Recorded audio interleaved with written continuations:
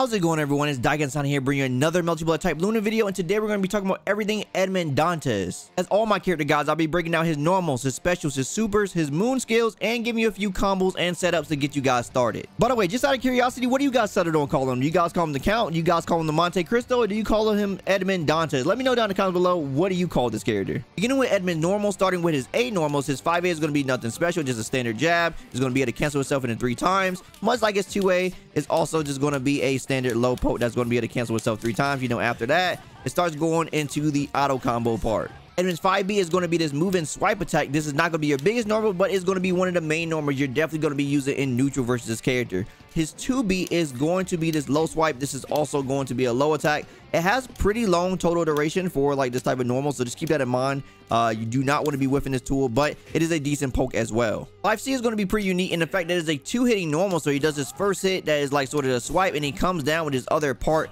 that hits. Now, the second part is going to be very crucial in some combos because it actually makes it to where they actually come back down. So just showcasing a jumping opponent here, the first hit hits and the second part actually knocks them back down as you can see. This is going to be very crucial for certain things and certain combos.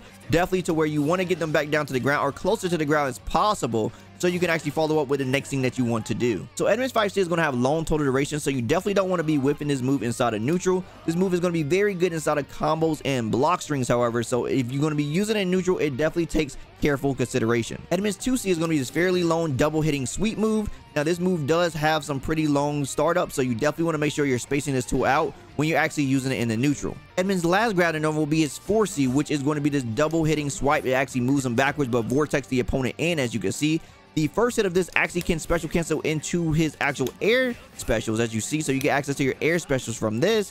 And the second hit is going to be able to special cancel into his ground one. So just keep that in mind. The uh, second hit is going to be ground special cancelable, and the first hit is going to be air special cancelable. This is going to come up into many important things we're going to talk about much later. So as you may notice with Edmond's crouching ground and normals is that they don't really hit very high up, so they're very susceptible to actually getting air dashed on. So the main button you're going to actually press when air dashes are coming are going to be 5B or 5A in those cases. However, keep in mind 5A doesn't hit people who are air dashing very high up. So 5B will be the standard go-to for people who are doing air dashes. This will probably be your best button to try to go for in most cases. Talking about Edmond's air normals, his JA is going to be your standard air-to-air -air attack. So you're definitely going to be using this when you see your opponent in air. When you think they're going to be air, just like a lot of other JAs, just can, you know, if you do this rising, you can come down with another button. So this is never a bad idea to check with this. Try to fish for like a fatal counter and come down with a better button to hit the opponent if they're on the ground. Edmond's JB is probably going to be his best air to ground attack, believe it or not, as far as his speed and how deep it actually can reach inside the opponent.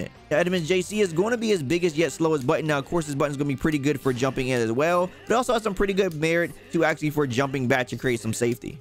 Edmond also has a charged JC, which is going to have slightly more range than his actual normal JC. So like from right here, the regular JC will whiff, but if I go back again, this one will hit. So it has slightly more range and it has the ground bounce effect that you actually see right there. So it's going to be used in a lot of combos and stuff. You'll definitely see that we talk about a little bit later. But for the most part, it is going to be something that you'll probably use in very specific block strings or when you need the little bit of extra range in certain setups. Now, talking about Edmond's special moves, starting off with the God button, his 236 series, mainly his 236A. So 236A is going to be a very good button that has two follow-ups. So first, you got this first hit right here, which is 236A. This is just sort of like a little mini projectile. And the first follow-up is going to be 236AA. This is going to cause a crumple on hit.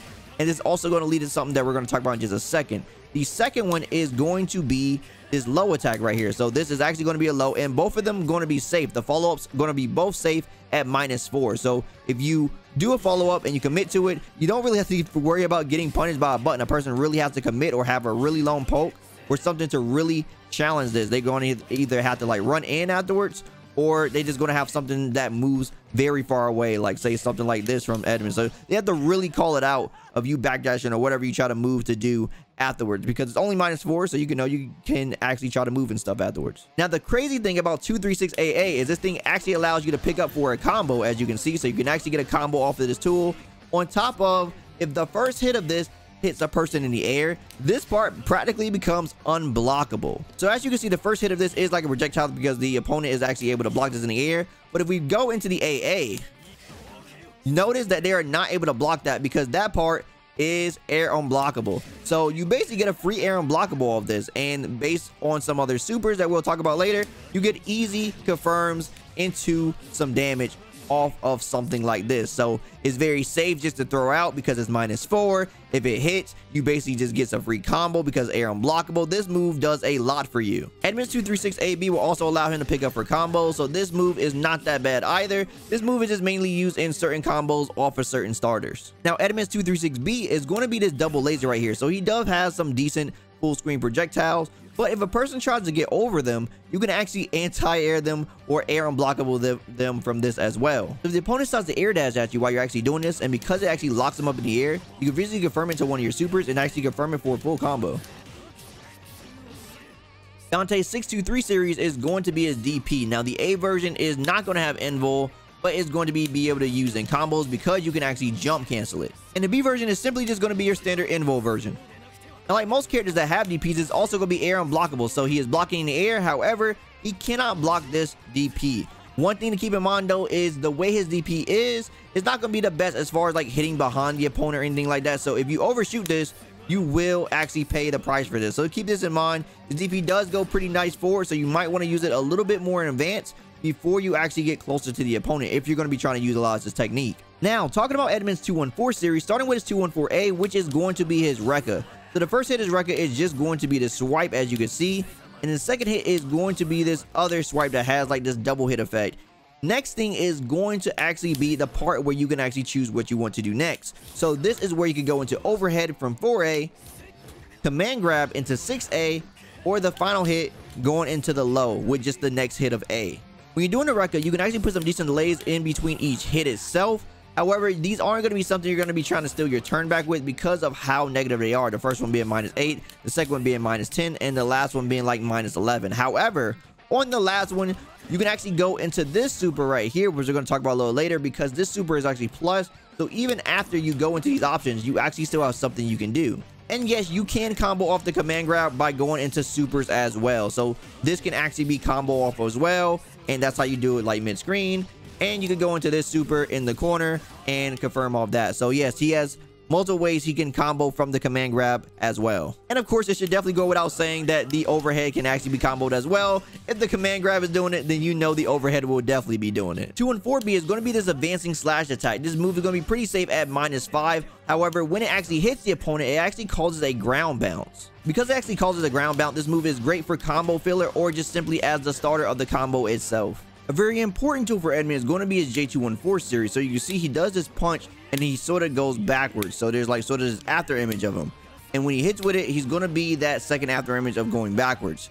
In the B version, he's going to be the one that actually goes forward. And both of these versions can actually be jump canceled as you can see. So you can follow up after them uh, with a jump. You can't air dash, it's just you actually have access to a jump. So with the B version, when you're doing this in pressure, you can actually just jump cancel and actually try to go for some more pressure. Now, keep in mind, if you do this in a block string from the 4C, it actually can be actually mashed out.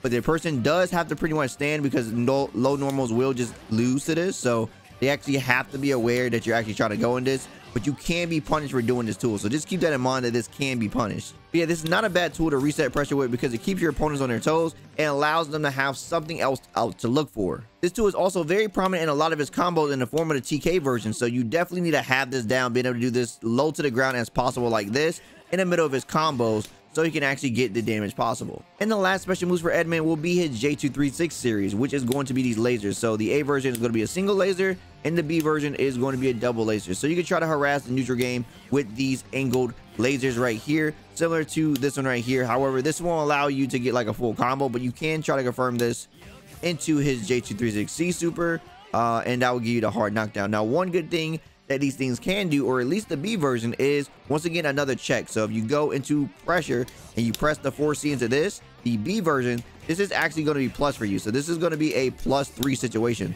So taking, you know, taking these plus frames right here, or if you're doing it in like quick pressure, like something like that, and then doing a TK version of it, these will give you plus three frames. Once again, while they're both good tools, you don't want to overuse them because they both actually lose to an opponent just doing the down shield. So down shield would definitely beat both of these options So you definitely don't want to overuse them, but once you start getting the reactions from your opponent that you're looking for, you can start trying to sneak these options in to try to get some plus frames or reset pressure situations. Talking about Edmond's moon skill, his 6 BC is going to be a faster version of his B lasers.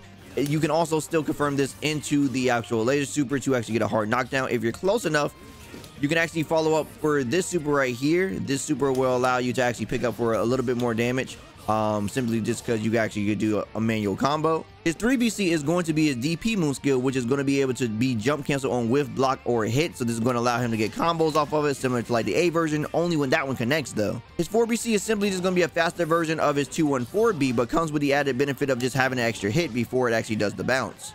Edmond's J6B is going to be the EX lasers. The added benefit for this is the fact that it actually can be jump canceled and you still have access to your jump cancel and air dash. So you still have other options you can utilize once you actually hit with this tool and sometimes you can pick it up for an actual combo. Edmond's Air 6B is going to be his Moon Skills laser. The added benefit to this is going to be that you actually still have access to your jump and your air dash. So this is going to be a less committal version of his previous option, which is his 236B in the air. And the last moon skill for Edmond is going to be his jump 4B, which is going to actually still retain his jump cancel and his air dash, unlike the other version where you still just have access to just his jump. So you don't have access to the air dash off of these but off this one you still have access to that air dash as well so if you decide to sneak this in because you still have access to your air dash you could go for double overhead mix-ups keep in mind you do not retain the air dash when you actually do this from his 4c so they actually do have a restriction on that to where you just don't have that option. And finally, talking about Edmond Super. So it's 236C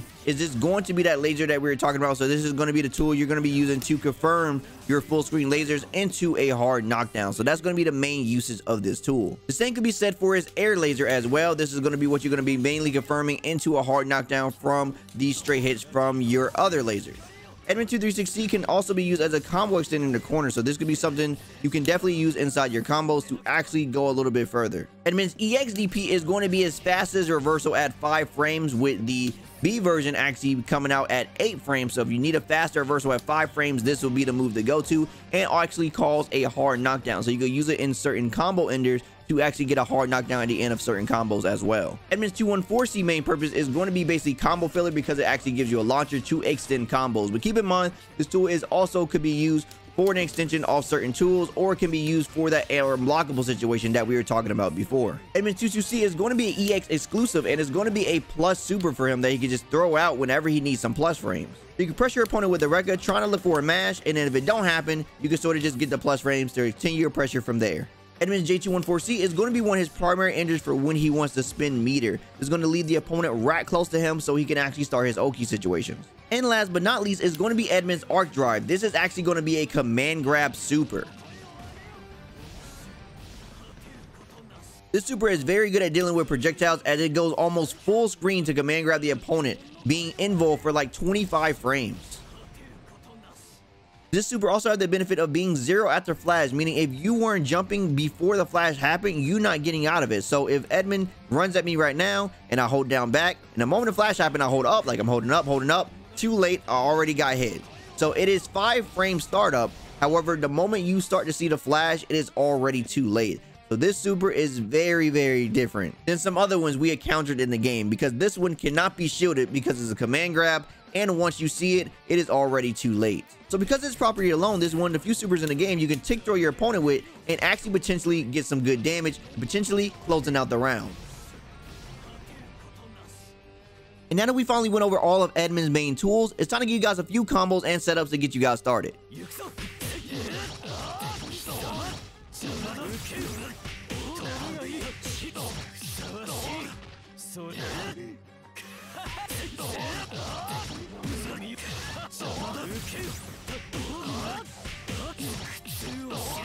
そうだ行くぞ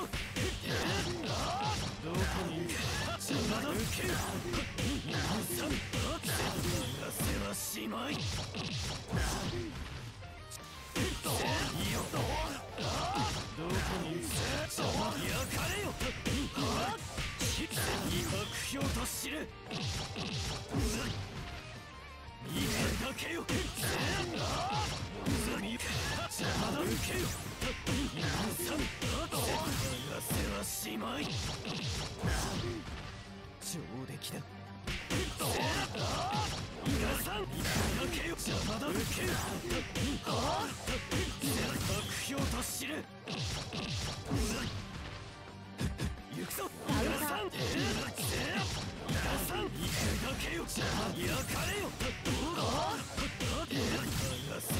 しまい。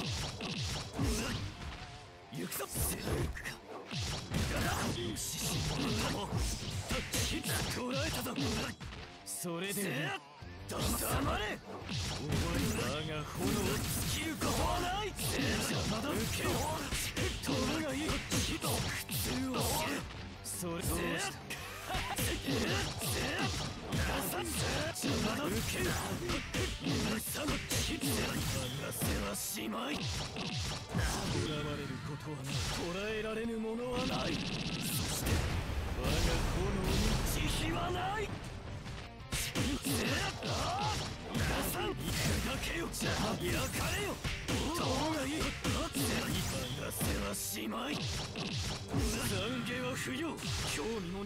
た。だ苦悶の声を上げよ。